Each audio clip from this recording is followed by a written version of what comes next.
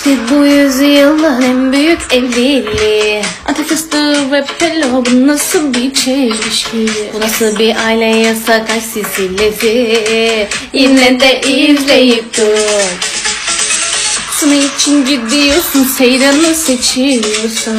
Öyle gezip tozup karını kıskanıyorsun. Seyranın kendinden uzaklaştırıyorsun.